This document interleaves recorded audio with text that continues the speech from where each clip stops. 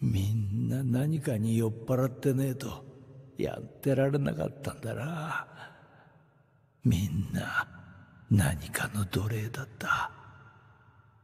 それだけじゃないよ。海だ。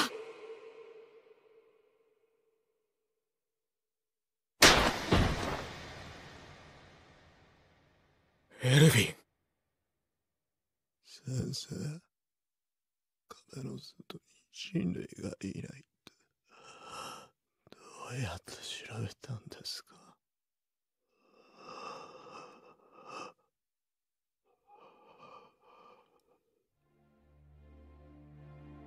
夢を諦めて死んでくれ。新兵たちを地獄に導け。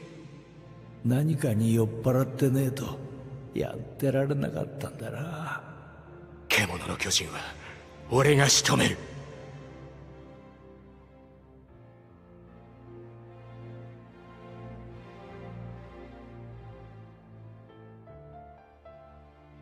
リヴァイありがとう。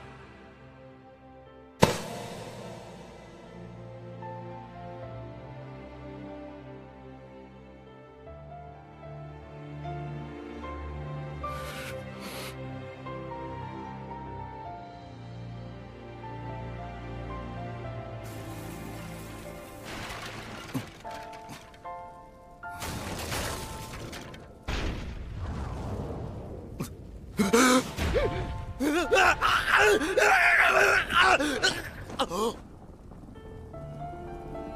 な助けて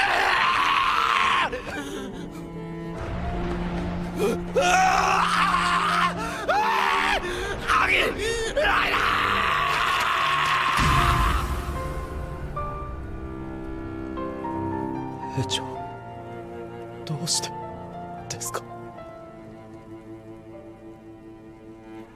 つを許してやってくれないか。こいつは悪魔になるしかなかった。それを望んだのは俺たちだ。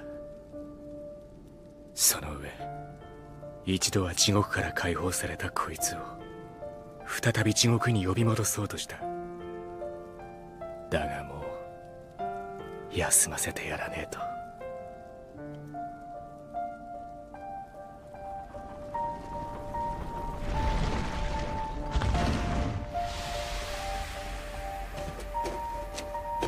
エルヴィン。獣を仕留める約束だがまだ先になりそうだ。もう死んだよ。